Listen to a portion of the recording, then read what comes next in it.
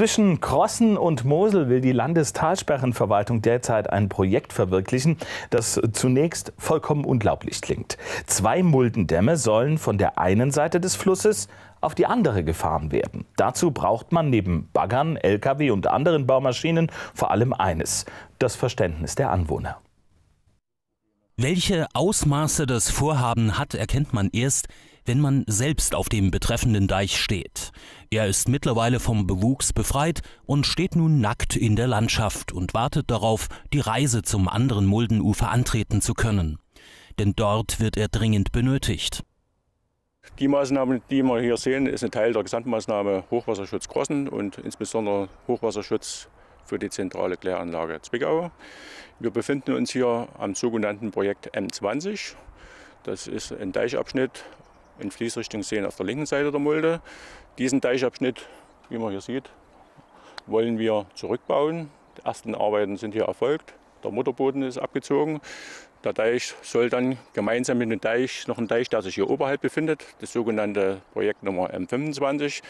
Diese, dieses Deichbaumaterial soll dann per Lkw über die öffentliche Straße auf die andere Seite der Mulde transportiert werden und dort für den Bau eines neuen Deichs, eines rückverlegten Deiches genutzt werden. Diese Arbeiten haben ein Ziel. Im Falle eines Hochwassers soll die Mulde hier zwischen Krossen und Mosel weite Auslaufflächen bekommen, damit der Pegel merklich abgesenkt werden kann.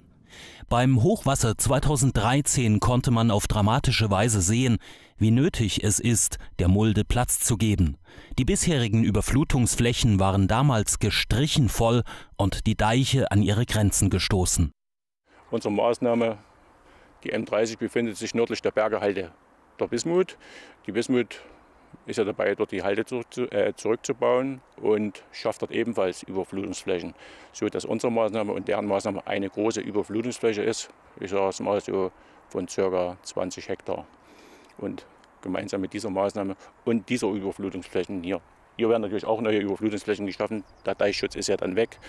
Und im, im Gesamtensemble dieser Maßnahmen ergibt sich halt diese Wasserspiegellagenabsenkung.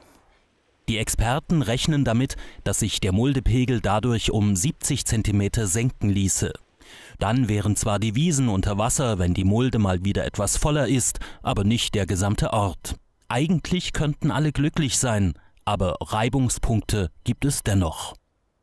Bezüglich der Beräumung dann dieser überfluteten Fläche gibt es sicher äh, gewisse Probleme.